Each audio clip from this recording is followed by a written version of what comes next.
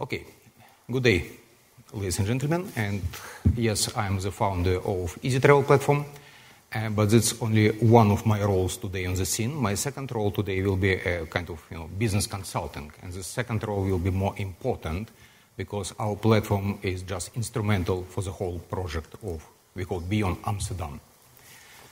Well, um, oh, yeah, it works.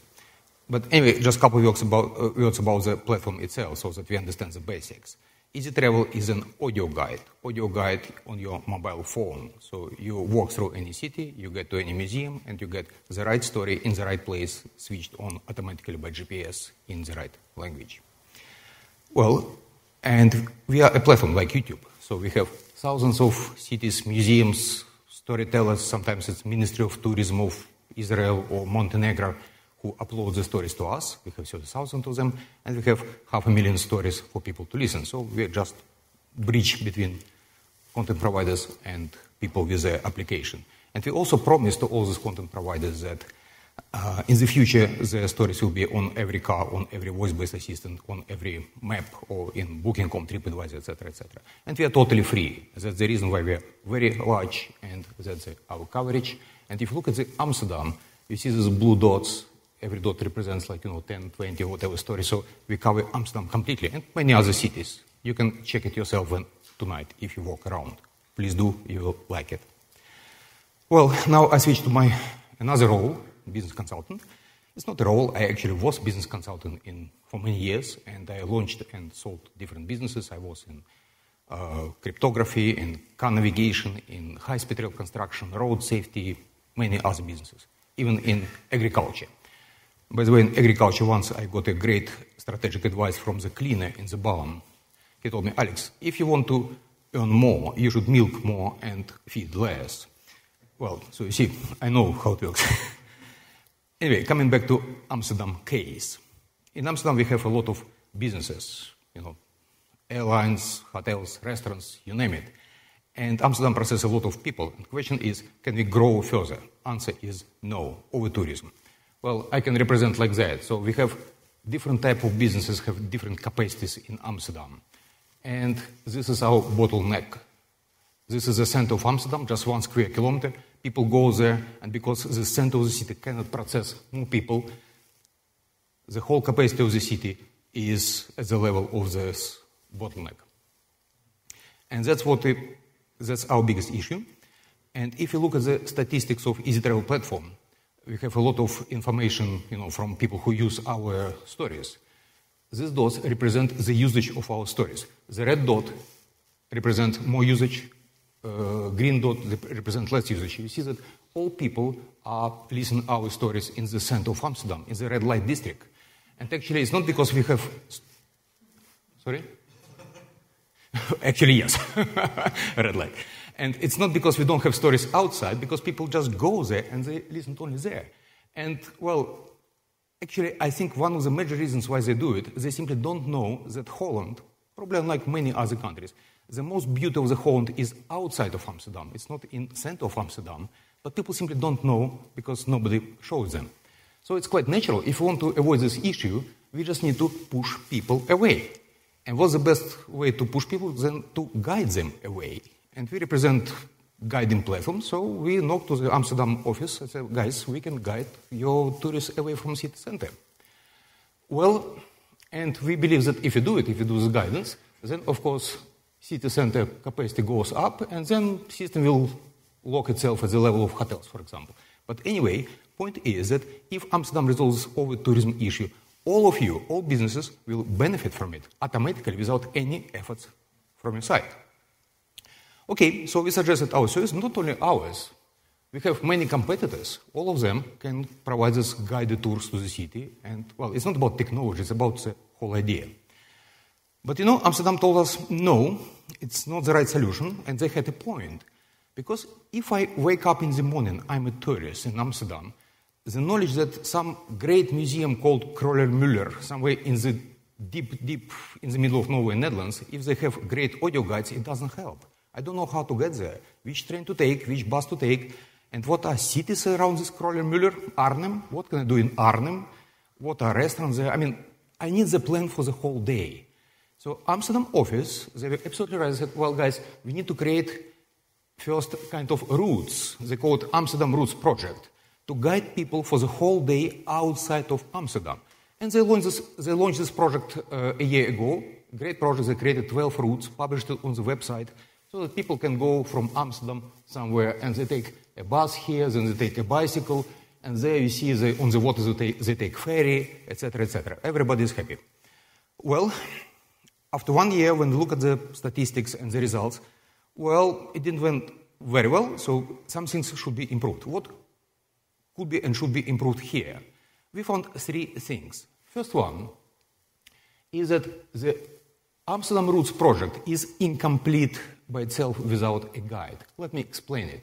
If you recall old times when tour operators brought us with a bus somewhere, there were three components the bus itself, transport, the knowledge where to go, and the human guide who told us stories. So in Amsterdam Route project, they definitely have transport, buses, uh, trains, bicycles, etc.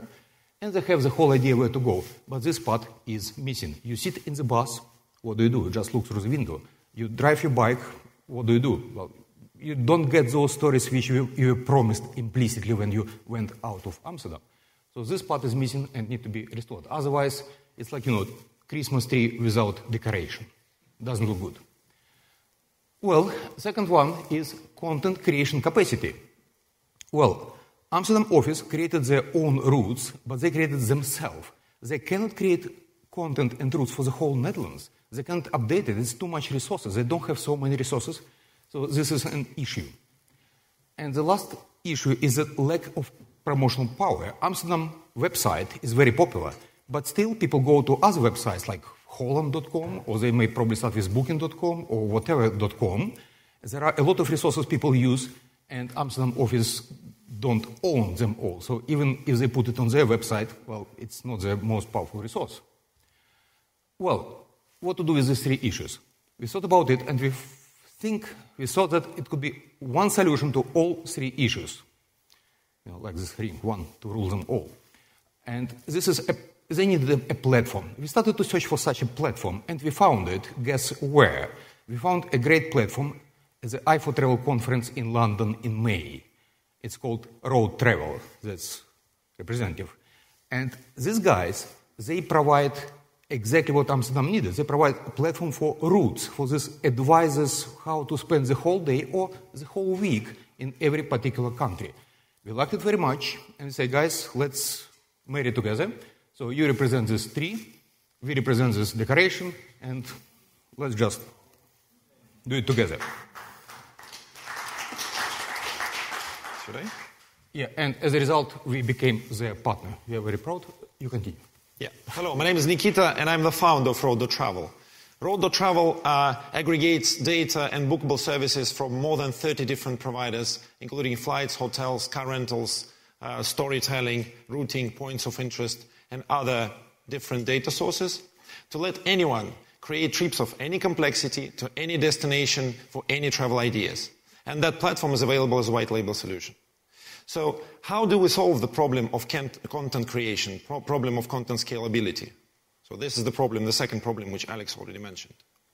Um, let's have a look at the original route once again from iamsterdam.com. We have recreated this route on our platform in a white label solution, this and other routes from iamsterdam.com. But now this platform can be implemented or integrated within iamsterdam.com or holland.com, booking.com, klm.com, whatever.com, which Alex also mentioned. Uh, thus, we are creating a new distribution potential uh, for these routes, potentially reaching more people. Also, the content itself can now be created not only by the Tourism Office of Amsterdam, but other ecosystem players, airlines, hotels, museums, tourism offices. So let's have a look at one of the trips which was created by the city of Deventer. It's a five-day trip, uh, road trip, including three hotels pre-selected by the Tourism Office of Deventer. If I, as a traveler, am not happy with the total price of this trip, which can be uh, booked as a package, I can type in my budget and the system will repackage the trip in seconds by selecting the best combination of hotels to be as close to my budget as possible while keeping the original route. So this is quite important because potentially it increases the chances of actually uh, booking this package, uh, and therefore increasing revenues for the whole ecosystem. But that's not all. Users, travelers, can create their own routes. Alex mentioned this case with the city of Arnhem. So this is just an A to B route from Amsterdam to Arnhem. The system will recommend interesting places within a short distance from the original route, such as this Air Force Museum or the Museum of Modern Art. Nice restaurants and cozy places to stay. So, we are now solving the problem of content uh, creation in a scalable fashion by connecting different players of the ecosystem on the platform, including travelers themselves, and aggregating data from global suppliers. Now, we're getting back to, to Alex. Thank you. Well, thanks. And uh, speaking about this lack of promotional power, uh, Nikita already suggested that this uh, Road.Travel could be as a white label inserted to Amsterdam office website or any other uh, website like home.com.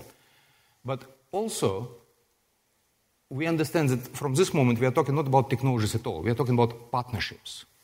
And by the way, it's interesting that Amsterdam Marketing recently was renamed from, from Amsterdam Marketing to Amsterdam Partners. So let's have a closer look at the partners. There are content partners and promotional partners. Content partners are regional tour offices. City of Deventer was example. How it happened? City of Deventer used izi.TRAVEL to create guided tours in City of Deventer for a couple years already. They have great guided tours. I, I, did, I did myself. I liked it. But when we approached them a month ago, told them, guys, we can push people from Amsterdam to you. Do you like the idea? I say, yeah, what should we do it? He said, well, you take this platform Road.Travel, you create a, the, the route from Amsterdam to Deventer and explain how it works. And then Amsterdam will be able to push people to. Say, yeah, they, do, they did it in one day, literally, because they liked this idea. So in this case, we can use their power to create uh, these tools. Museums. Kröller-Müller Museum, it's a great museum, it was mentioned here, but they're in the middle of nowhere, literally. It's not possible to get there by public transport or whatever. It's, people cannot find it. When I spoke with them two years ago, with a marketing lady, uh, she told me, well, we are not interested in audio, just audio guide, just another audio guide is who cares? When I approached her at the MuseumNext conference last month, when we already started this discussion with Amsterdam, I told her, look, now I approach not as a provider of storytelling technology, I can push people from Amsterdam to you. She immediately reacted and said, oh, oh, great idea. Let's talk to our, you know, different authorities in Arnhem and other cities. She organized for us meetings we have next week. So she really understood the power of promotion power of Amsterdam and she is ready to create her content. So all these uh, stakeholders, partners around Amsterdam, museums, cities, publishing houses, people, etc., they are ready to create content for Amsterdam to be used. And of course, crowdsourcing. And in this way, Amsterdam will do what they do the best to promote, but they can cherry pick the content which they like and push it and uh, demonstrate it on their website using the platform of Road.Travel. If I go to the promotional partners, actually, these partners are you. All the businesses sitting in front of me now, you are natural partner of this kind of project. So if it's hotel, well, there are a lot of guided tours created in Amsterdam or outside of Amsterdam around your hotel. So you can easily promote these hotels. And we already have cases when hotels just print out these leaflets and put it in every room as a TV. We have guided tours around, please use it. In this way, hotels help not only themselves to, to, you know, to entertain users, but they help the whole project as a whole. Uh, car rentals. We provide a reason to take a car, and Road.Travel again can create the whole route and even book a specific car for you using some typical agents. Airlines. Well, it's a nice opportunity to present to your customers ideas that, well, now Amsterdam is not going to be anymore, you know, overcrowded city. There are a lot of different routes, possibilities to see something outside. Please use it. Mobile operators, they sell, they sell prepaid SIM cards. Now they can sell prepaid SIM cards with free guided tours all around Netherlands. And we have more than 1,000 tours in Netherlands. It's definitely something to choose from. Cruise ships. Now we have a big issue in Amsterdam because cruise ships created actually played their role in this over-tourism. So Amsterdam limited cruise ships amount, I think, from 200 to 100 per year. And it's a big issue. They simply can't get to Amsterdam. Amsterdam in, is even thinking about moving the port of Amsterdam 40 kilometers to the west out of the city. Well, it will help, but not the tourists. I mean, it's outside of Amsterdam. So cruise ships can sit with Amsterdam authorities at the table and say, guys, we will guarantee that every tourist on the boat of the ship will receive some application and will be able to choose where to go away, and we will push people away from city centers. It could be kind of discussion between them, which will help both Amsterdam businesses and cruise lines. And I just received a call from my colleague in Berlin who is dealing with this cruise line association. He said, Oh, yeah, Alex, next day I participate, he's participating in some cruise line conference. He's going to present this solution to cruise lines. Restaurants, yeah, they put this paper cloth on the table for you to see the map of the city. It could be a map with guided tours around. So all the businesses can get benefits from that. And even public transport, public buses can become hop on, hop off buses with guided tours created by local people for free and compete with these red buses. And we have cases with trains which already use our tours and print these leaflets and put everywhere at the train station so that train users use uh, these guided tours uh, around cities. So point is that practically it's difficult to find the business, travel business, which cannot participate in the schema, getting benefits for the business and for the city as a whole. And also users. As Nikita just explained, users can participate on the content side. So when they play with this route, how he presented here, and change it a little bit, they create content which will be stored in the system and demonstrated to other users. And also users represent great promotional power because in the modern world, experiences are the new form of social currency. If you make your customer happy, your customer will make sure that in all social networks he will retell the stories because good story wants to be retold. It will be done in a natural way. You will not have to advertise your businesses, they will do it for you. Well, so in a way, as I said, this project is not about technologies. Of course, we use technologies. My platform, his platform, it's all about partners. And look, we put together partners from business, from public authorities like Amsterdam office, from cultural institutions like museums, from cultural funds, because these cultural institutions will go to get European grants to create their content. And of course, technological companies. Because it's quite typical for businesses to not to think outside of their own business. If I come to the conference of the hotels, I see that hotels talking about their issues. If I go to the museum conference, they talk about their issues. If, you, if I go to the conference of city authorities, they all work in their closed circles. We suggest to open the circles and to cooperate through different industries. In this case, we can optimize not particular business, we can optimize the whole value chain and find a lot of opportunities. Well, the whole case of Amsterdam definitely could be scaled up to the whole Holland, because uh, Holland.com probably will participate here, and beyond Holland to the whole Europe and the world easily. So it's really scalable because it's just platform based. And the more content is in the system, the more people use it. It could be scaled not only, only geographically, which, and by the way, it already happens. For example, if you look at the, this map of Moscow, in the scale of 300 kilometers, big region. And unlike Amsterdam, you see that red dots here go far beyond Moscow because it already works this way. This is our heat map where people actually use our stories.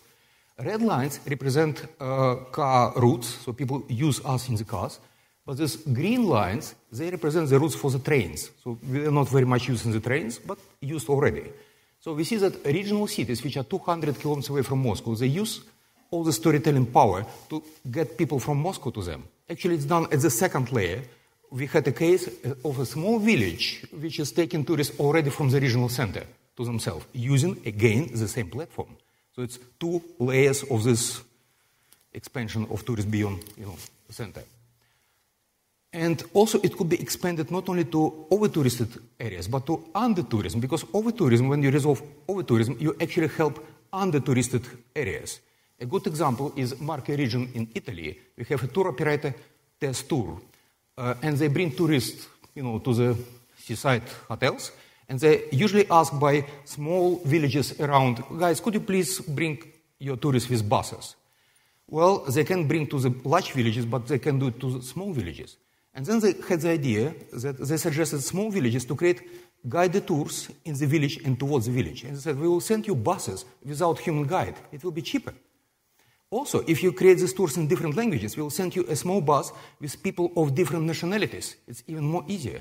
In this case, they have much further reach than just, you know, to the most famous cities. So this is a case of reversed over tourism, which is under tourism. And there are a lot of depressed regions in Europe who would like to get tourists. Well, uh, it could be extended towards coming technologies. We are going to have cars without steering wheels soon. What are you going to do in a car without steering wheel? You're going to listen stories. Well, you listen radio, but this is location-based radio. You're going to listen it as long as local people and museums create the stories for you. So all the job we are doing now with Amsterdam office and many other regional authorities, all this content will be automatically reused in the new cars. And again, it's not theory. If you look at this great picture at the Porsche meeting, this is Nikita, or Ford, we were there also together with him. So car manufacturers already implementing this stuff. Not only car manufacturers, but also voice-based assistants.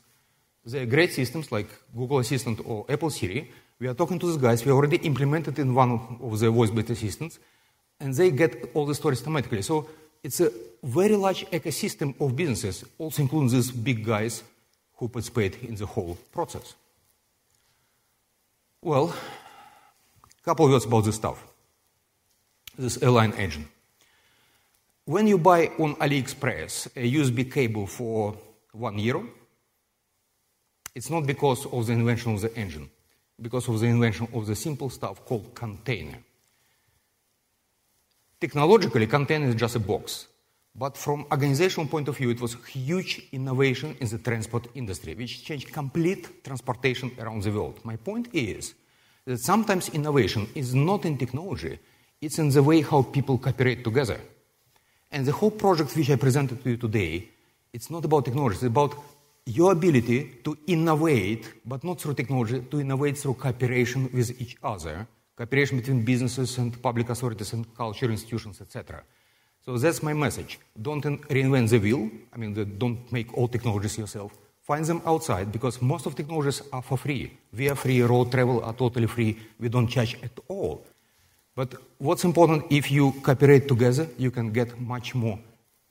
That's more or less the idea. So these are two guys who present you. Oh, present. Uh, if you install this izi.TRAVEL application, you really can walk tonight around Amsterdam enjoying great tours created by local people. You can, I mean, it works. That's it.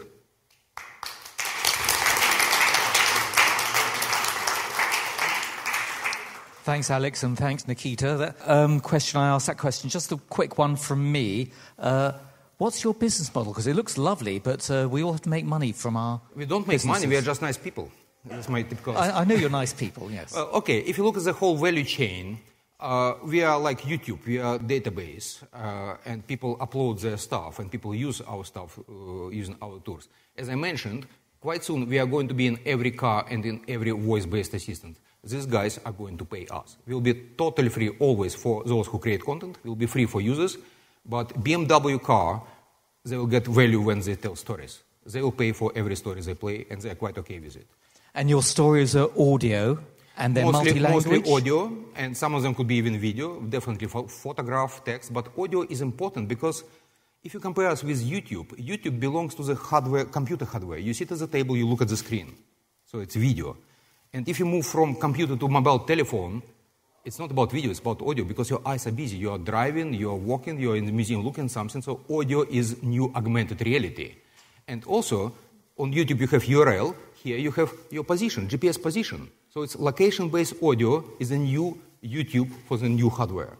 So it's just next generation. So it's Okay. mostly audio, location-based. Fine. And a question from Slido there. Why are you both two separate companies? Uh, are you both engaged on just this project, or are you actually Well, doing we, we, other we, just as met, well? we just met at your conference in May. In May, yeah. The fact that we are both dot travel is just coincidence, Yes. really. So in November last year, when I found that Amsterdam needs this kind of platform, I started to search for such platform. We just found them, became partners, nothing else. We are two separate businesses. Uh, are you partners, or, or Alex, are you just a supplier of content to uh, Nikita? we, are, we are partners, and Nikita gets information from many systems, like you know, Booking.com, etc. I'm just one of suppliers of content here. In this, but when we talk to Ford company, we talk together as partners. And presumably, Nikita, when you're recommending on your road trips um, hotels and pricing, you're taking commission on those bookings, yes? Absolutely. So our business model is, is simple. we receive affiliate commissions if we're talking about B2C. If we do white label solutions, then They're not so nice as we are. It's always, it's always in the revenue share space somehow. Fine. A- any questions, anybody? No, in that case, uh, E- Enjoy storytelling. yeah, that's And- fantastic. And uh, Alex and Nikita, thank you very much indeed. Thank you so much. Thank you for your attention.